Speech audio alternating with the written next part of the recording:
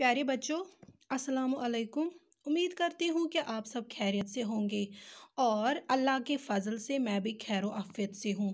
तो बच्चों, आज जिस मौजू पर हम गुफ्तु करने जा रहे हैं, उसका उनवान है पानी।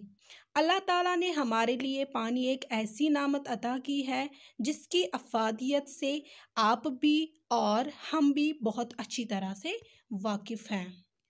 तो बच्चों, देखते हैं, आपकी किताब इस्लाही उर्दू में पानी के बारे में क्या बताया गया है, जो कि सफ़ा नंबर 21 पर दिया गया है। तो बच्चों, पानी अल्लाह का दिया हुआ एक अनमोल खजाना है, जिसके बगैर ज़िंदगी नामुमकिन है। इसको हम पीते हैं, इसकी मदद से खाना पकाते हैं, कपड़े धोते हैं, नहाते हैं, बदन साफ़ रख करते हैं, खेत सींचते हैं। अगर पानी ना हो तो हमारा कोई काम ना होगा और हम ज़िंदा न रह सकेंगे। पीने का पानी नदियों और कुओं से आता है।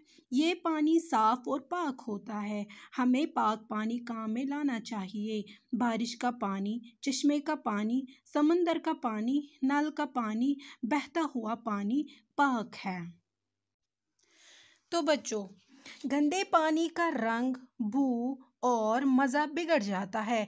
इसमें कीड़े भी पैदा हो जाते हैं। इसको पीना, काम में लाना ठीक नहीं। गंदे पानी की छान कर, उबाल कर, लाल दवा डालकर साफ़ कर सकते हैं। हमें हमेशा साफ़ और पाक पानी काम में लाना चाहिए। जिन कुओं से पीने का पानी आता है, उनकी बड़ी देखभाल की ज़रूरत है। ऐसे कुओं पर नहाना और कपड़े धोना अच्छा नहीं। इससे गंदा पानी और बदन का मेल कुएँ में चला जाता है और पानी को गंदा कर देता है। गंदे डोल और बर्तन भी कुएँ में नहीं डालने चाहिए। तो बच्चों पानी से हमारी प्यास बुझती है। इसी तरह खाने से हमारी भूख मिटती है। हमें इस बात पर अल्लाह का शुक्र अदा करना चाहिए कि उसने पानी जैसी चीज़ बनाई और सब चीज़ों से ज़्यादा बनाई। फिर ऐसी नामत हमें मुफ़्त दी। दुनिया में कुओं और नदियों के अलावा बड़े बड़े समंदर और झीलें भी हैं जिनका पानी हमारे काम आता है। जानवरों को भी पानी की ज़रूरत होती है।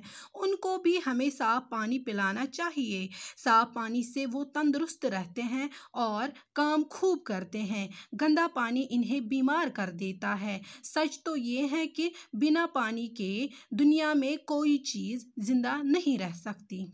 तो बच्चों, आखिर पर मैं आप लोगों से ये कहना चाहती हूँ कि पानी की कदर किया करो, पानी को ज़ाया मत करो या पानी को ज़ाया करने से परहेज़ करें। तो बच्चों, आज के लिए इतना काफ़ी है। खुदा